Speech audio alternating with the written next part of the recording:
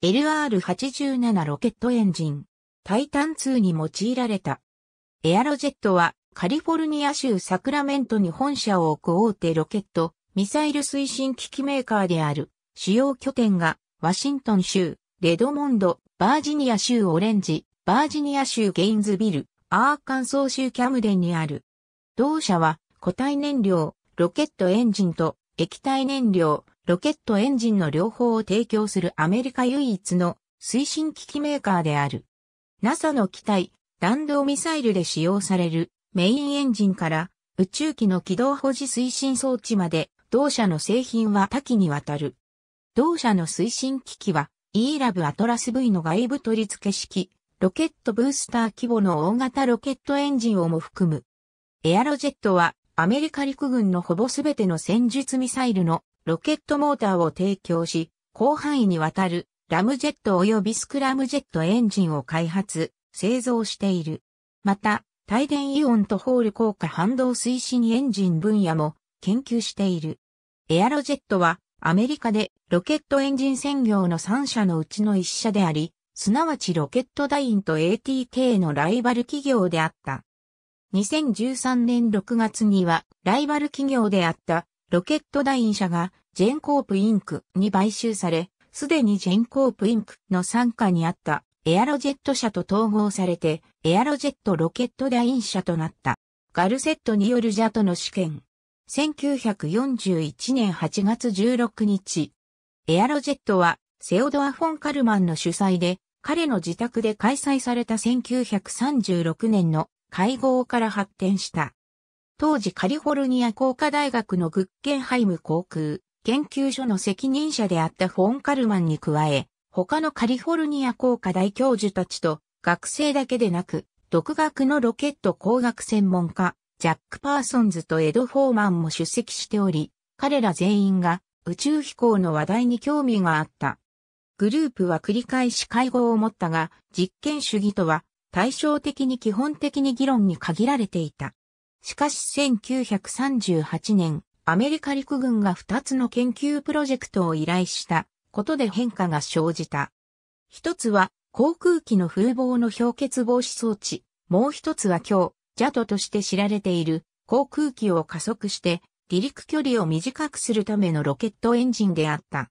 マサチューセッツ工科大学のジェローム・ハンセーカー博士は、ロケット研究がバックロジャーズのようなプロジェクトであると感じたため前者を選択し、残りのロケット研究がカリフォルニア工科大チームに回ってきた。彼らの最初の設計による飛行機の底面に取り付けられた小さな円筒形の固体燃料モーターは、1941年8月16日にテストされた。その結果、離陸距離は半分に短縮され、アメリカ陸軍航空隊は実験的に生産発注した。1942年3月19日にエアロジェットエンジニアリング社がカリフォルニア州アズサに公式設立された。同社の創設者としてフランク・マリナ、フォン・カルマン、パーソンズ、ホーマン、マーティン・サマーフィールド、アンドリュー・ハーレーが名を連ねた。アメリカ陸軍航空隊は1943年についに正式な注文を出し、2000光年内に収めるよう要求した。同社は純粋なロケット研究にも投資し、液体燃料設計とジェネラルタイヤと協力してゴム結合剤に基づいた新しい固形燃料設計の両方の開発を行った。第二次世界大戦が終わると間もなく、エアロジェットは急速に縮小したが、同社のジャトユニットは高温航空で運用されている商用航空機市場で販売が続けられた。エアロジェットの初期の製品であるエアロビーの先端部分。1950年までにゴム結合剤による固体燃料ロケットの研究はより大型のエンジンに、さらにエアロビー気象観測用ロケットの開発につながった。エアロビーは地球軌道ではあるが宇宙に到達するためにアメリカで設計された最初のロケットであり、1985年に引退するまでに1000機以上が打ち上げられた。アメリカ陸軍航空隊の後に新設されたアメリカ空軍はタイタンやミニットマンミサイルなどの大陸間弾道ミサイル、プロジェクトに関する主要な供給元として、エアロジェットを採用した。アメリカ海軍の潜水艦発射型ポラリスミサイルのためにも推進装置システムを納入した。最初のあずさ事業所が主として研究に専念する一方、サクラメントで新しい工場が大部分のロケット製造事業を引き継いで建設された。あずさの主要なプロジェクトのうちの一つは DSP 衛星で宇宙から ICBM の発射を見つけるのに用いられる赤外線検出機の開発であった。新しい研究組織はエアロジェットエレクトロニクスとして独立する一方、いくつかの兵器会社を買収した後、同様にエアロジェットオーディナンスが設立された。新しい上部機構エアロジェットジェネラルは3つの主要な部門を監督した。1960年代末までに人類を月に送るというケネディ大統領の挑戦はエアロジェットの民間事業の拡大につながった。過去には1950年代後期に設計されたサターンとノバブースター用の大型エンジンの契約をライバルのロケットダインに奪われ、ことごとく失注したが、最後にはアポロ指令線モジュールのメインエンジンのメーカーに選定された。1962年に同社はサターンの第2弾で使われた5機の J-2 を用いたクラスターエンジンをアポロ以後の世代用に換装するための新型上段エンジンの設計にも指名されたが、その成果として出来上がるはずだった M-1 の設計作業は巨大な宇宙計画に対する市民の支持が弱まっていることが明らかになった時、1965年に終わりを迎えた。1960年代はベトナム戦争のために増加する要求によって再び軍需に転じ、様々な兵器の供給元となり、エアロジェットは1950年代後期に軍事事業を部門分けした。そうした仕事は1970年代にも続き、MX ミサイル用第2弾ロケットモーター、スペースシャトル用反動推進エンジンシステム及び、アメリカで初めて設計されたクラスター爆弾を納入した。A-10 サンダーボルト2用の 30mm 弾の契約は、1978年に新しい分工場がダウニーとチーノーに建てられたほど大きな受注だった。エアロジェットはこの時期に他のいくつかの会社を買収し、ジョーンズボロの工場で TN は劣化ウラン兵器の開発を行った。今日に至るも、同社はこうした兵器の主要な供給元である。同社の電子機器部門と兵器部門はサドム8追走行砲弾の開発にも関わったが、これは生産には至らなかった。1980年代、レーガン大統領の戦略防衛構想プログラムの絶頂期に航空宇宙ビジネスは一時的に復活を見たが、同社は1980年代後期から1990年代にかけて縮小し続けた。エアロジェットの製造、試験及び廃棄によってランチョコードバ地域の土壌と地下水の汚染を招き、スーパーファンドの指定に至った。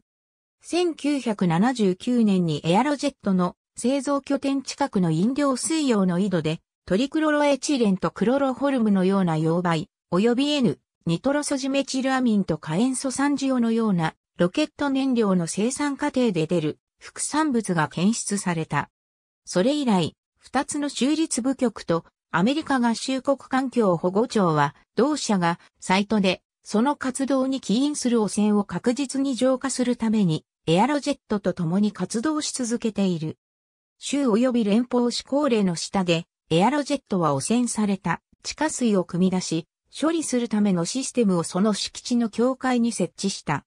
エアロジェットは現場の土壌、液体とヘドロの除去作業も実行したが、2003年の地下水のサンプルデータは、北西のカーマイケルの地下まで汚染が広がっていることを示した。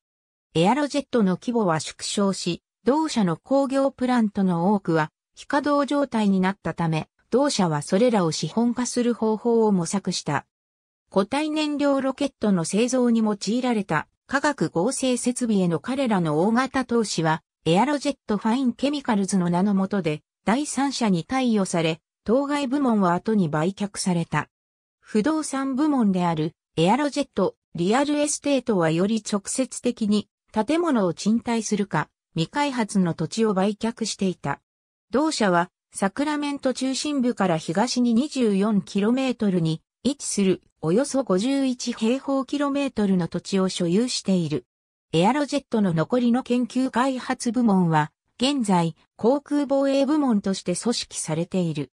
この部門はミサイル防衛に必要な戦略ミサイル及び戦術ミサイル、精密攻撃ミサイルと迎撃システム用に液体ロケットエンジン、固体ロケットエンジン及び空気吸入エンジンを開発し、生産を続けている。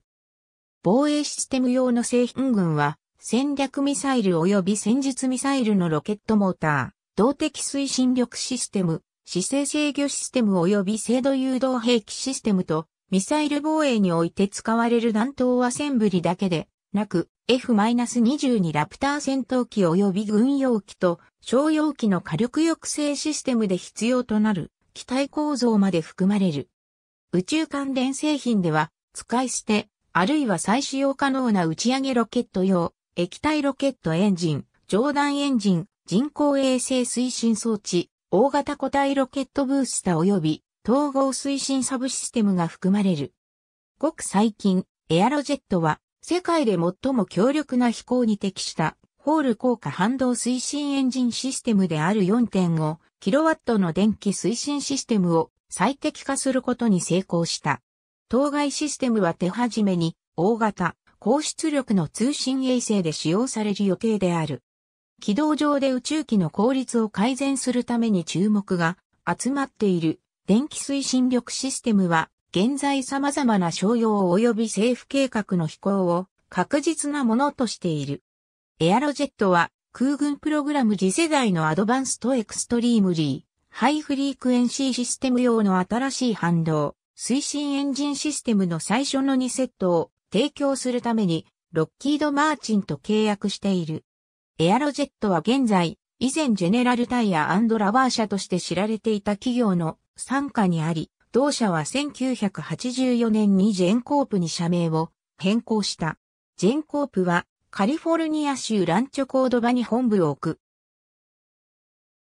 2エンジンライバルズマージイントゥエロージェットロキトディン。spaceflighttnow.com http://spaceflighthnow.com スラッシュニューススラッシュ n1306 スラッシュ 18aerojet スラッシュ UC グライズ6コシエフ2013年6月24日閲覧。マリーナ・フランク・ヨゼフアメリカン・ナショナルバイオグラフィー2007年10月18日閲覧。